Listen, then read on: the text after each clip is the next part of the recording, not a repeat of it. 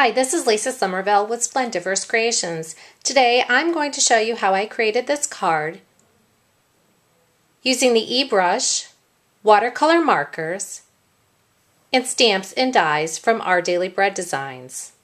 Place the stamps on the acrylic blocks and then use a watercolor marker and your eBrush to add color to the stamps.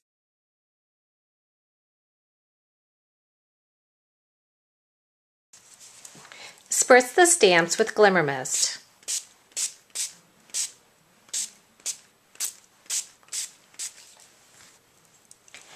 And then stamp onto your cardstock.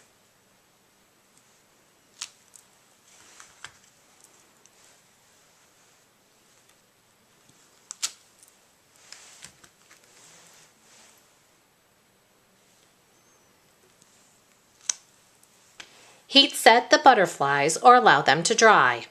Spritz your work surface with additional glimmer mist. And then smash the cardstock into the glimmer mist spray.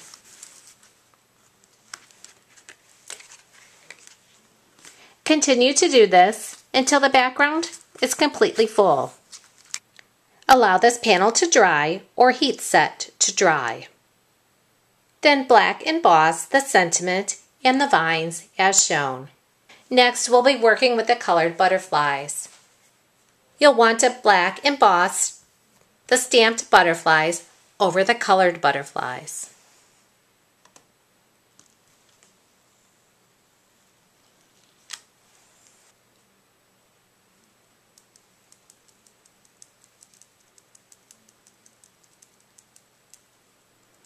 I'm using black archival ink and clear embossing powder.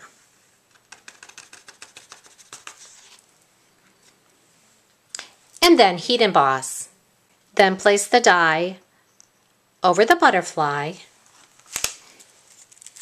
Use removable tape to hold that die in place. And run it through your die cutting machine following the sandwich stack for your particular machine.